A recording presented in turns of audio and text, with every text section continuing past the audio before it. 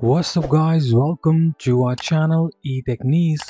In this video we will talk about how to fix Windows Update error 0x80070643 in Windows 10. We will talk about the method you have to use if you're using GPT drive or MBR drive.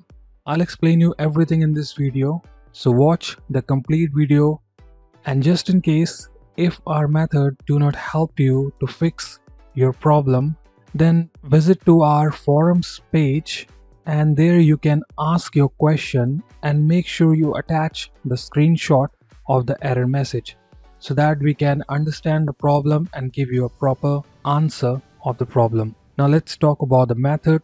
Method 1. Troubleshoot Windows Update. Here you need to click on Windows icon click on settings click on update and security. Here on the left hand side click on troubleshoot. Click on additional troubleshooter.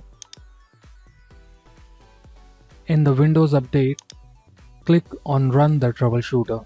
Once you'll run it you will get a screen like this one and after running the troubleshoot, simply restart your computer and check if that help you to fix the problem. Method 2. Create bat file. Here you have to create a bat file. All the instructions are mentioned in the link below. You'll see the link in the description. In that link, you will see all the commands you have to put in the bat file. Simply visit to that page copy all of these commands and on your computer open a notepad.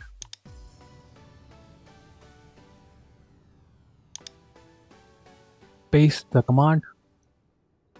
Click on file save as. Select the location. Type the file name like I'm typing Etechniz file dot bat and then click on save. Once you'll save it you will see something like this. Do a right click and open it. This will run the commands and your problem will get solved by running this command. If not then follow our method 3 resize your partition for to resize the partition, you need to open the CMD, the command prompt as an administrator. Select run as administrator. Click yes. Here you need to type the commands. I have mentioned that in the link in the CMD if you have a GPT drive or if you have MBR drive Simply open the command prompt as an administrator and copy paste the commands. Then disk part. Make sure you copy paste the commands because if you try to type the commands in here you possibly make some mistakes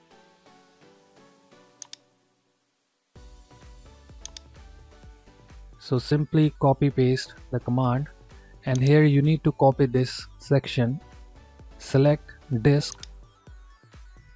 It's in the short form SEL disk and here you can see the disk 0 here you need to understand my disk is MBR as it's not showing the asterisk sign and there is no difference between MBR and the GPT if we talk about the commands it just in the mbr you have to type command set id is equal to 27 and in gpt you have to put this one.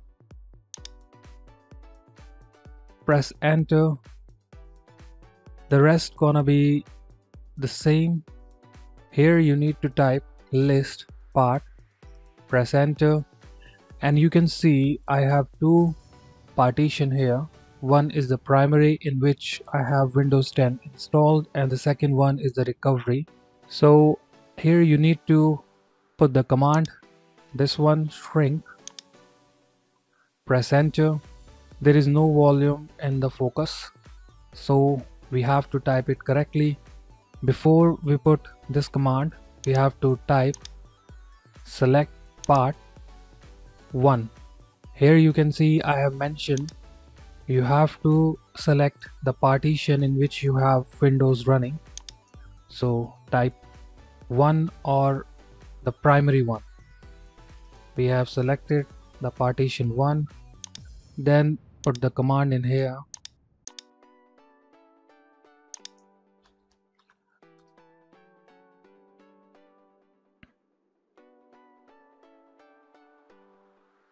Alright, here you can see disk successfully shrunk to volume 250 MB.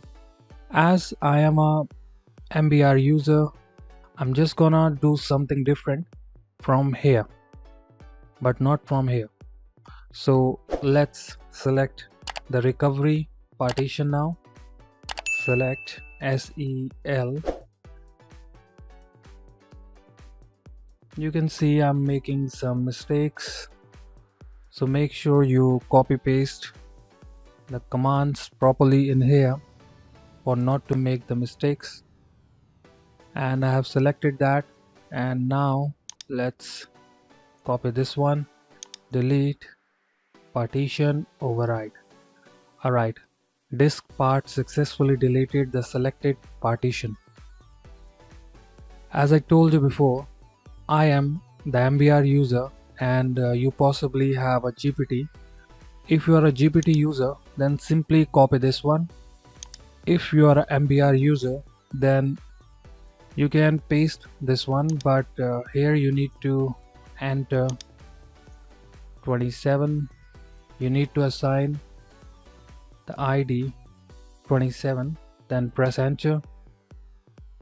You can see that DiskPart succeeded in creating the specific partition then type list volume and you can see that we have created a partition.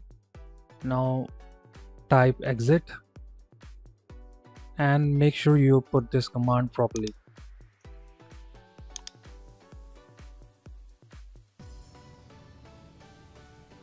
Let's check. Right click on the windows icon and uh, select disk manager.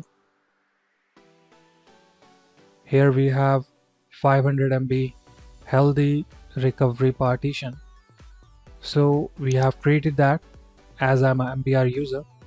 So that's how you have to fix the issue. And after doing that try to install the update.